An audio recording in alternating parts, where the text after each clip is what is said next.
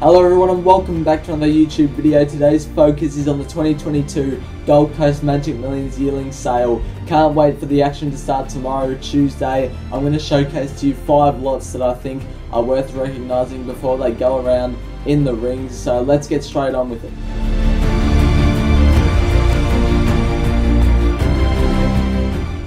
Lot 585 is a bay colt by the leading sire I'm Invincible out of an elusive city mare called Suspicious.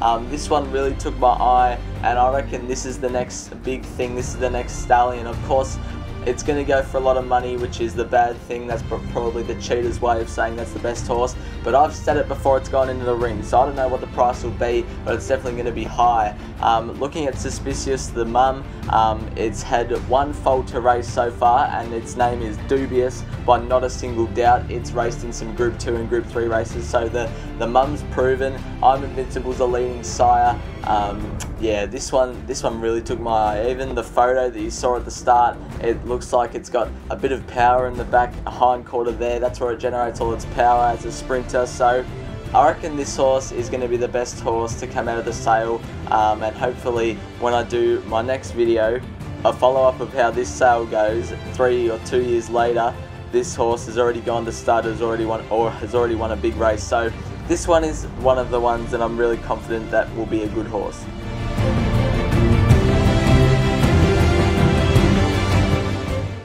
Lot 554 is a Bay filly by up-and-coming sire Dundeel out of the Redoute's Choice mare called Sport Chick. Um, now this horse has got it all. It's got the length, it's got the hind quarter power.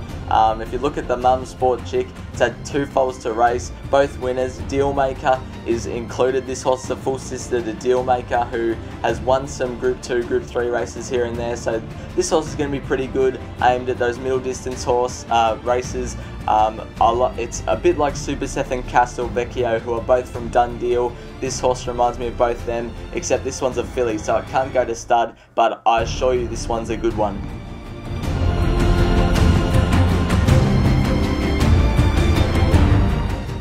Lot 436 is a bay colt from not a single doubt out of the Success Express mare called Rotomine. Um, this one I reckon is going to be a star sprinter, can generate a lot of hind quarter power as you can see in that walking uh, video there that we're seeing. Um, it's got a good walk on it, got a lot of hind quarter power, being in not a single doubt that's what that's what we expect of not a single doubts these days. Um, having a look at Rotomine the mare, um, it, this horse is a full brother to Legend of Condor who ran in the Sud stud colours. I don't know if you remember it. It won on Melbourne Cup Day a couple of years ago when Brett Prebble saluted on it. I don't know if you remember it, but I do. Um, and that was a pretty good sprinter. Um, I think this one is slightly better than it, so hopefully it can win some city races down the straight and hopefully maybe get to some group races down the straight and see what it's see what it's like. So I really like this sprinter by not a single doubt. I reckon he's going to go for a lot of money but be good.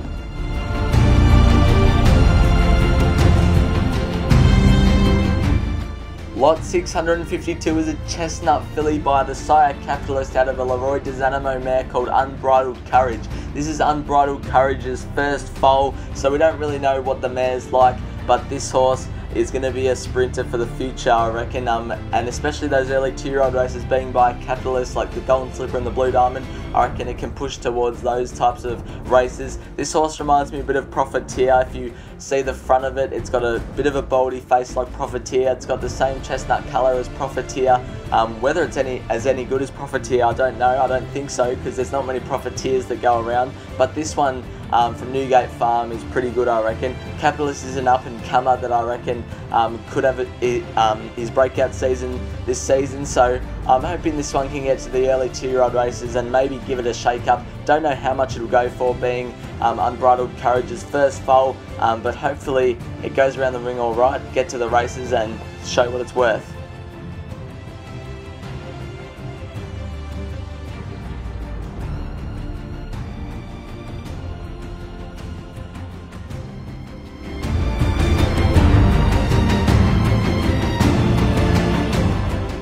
We move on to the last of our lots and it is Saminator's Stayer. This is a bay colt by Lonhro out of the Exceed And Excel mare called Lime Malicious. Lime Malicious has had six foals to race and they've all been winners including the exciting two-year-old F Troop who was by Spirit of Boom. Um, now I'm hoping this horse can get over ground. Um, being by Lonhro it should. Um, hoping it can get to the 2500 metres which I don't know if it can but if it if it can get to the 2500 metres this could be a future Derby contender. Obviously there's some up and coming sires like Dundeel and them that have Derby horses these days but I think Lonhro if this is the last season that he produces some good horses I'm hoping this is the one um, and I think this horse won't go around for a big amount of money even though the mare's proven very good um, it could maybe go for under 150k or a uh, under 200k so if that happens then I think it's value. Um, it could get to a derby. If it gets to a derby, I reckon it'll, it'll be worth a lot of money in the future. Um, and I think this horse is one to watch, especially the first of our lots, 208, but the last of our lots we're going to take a look at today. Thanks for watching.